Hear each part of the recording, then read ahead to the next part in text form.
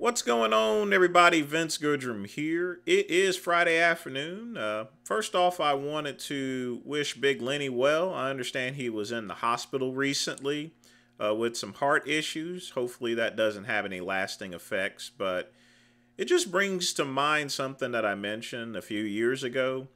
And I'm going to be honest with you, uh, Big Lenny, I understand that being big is part of your persona. You know, it's what's sold on your t-shirts that say Big Lenny on it. But it's time for you to become just Lenny, all right? Plain and simple, especially given your age. Uh, you know, you've had a lot of medical issues within the past couple of years, a whole bunch of them.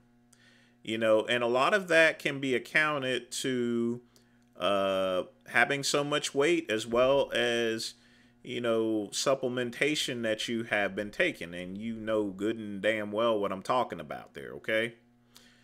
You know, at this point, you have to consider uh, the longevity of your life and not just trying to live up to what everybody else wants you because, you know, a lot of that also has to stem from peer pressure, okay? Uh, you know, I want you to be around for a great number of years, as well as everyone. And, you know, there's no telling when we can possibly go, but at the same time, we have to make a consistent effort uh, to stay healthy so that way we can preserve our lives.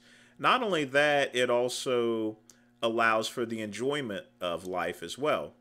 And you get no enjoyment, Big Lenny, if you're in the hospital up there worried as far as to whether you're going to live or die, you know, plain and simple. So, Big Lenny, I, I, I get that you're trying to get big, but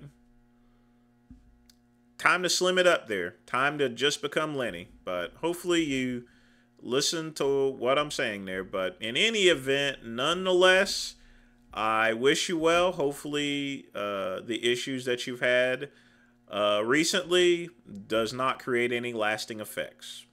That's all I got to say for right now. Like and subscribe to the Vince Goodrum channel. Click the link below. Also visit vincegoodrum.com. And as always, peace and soul.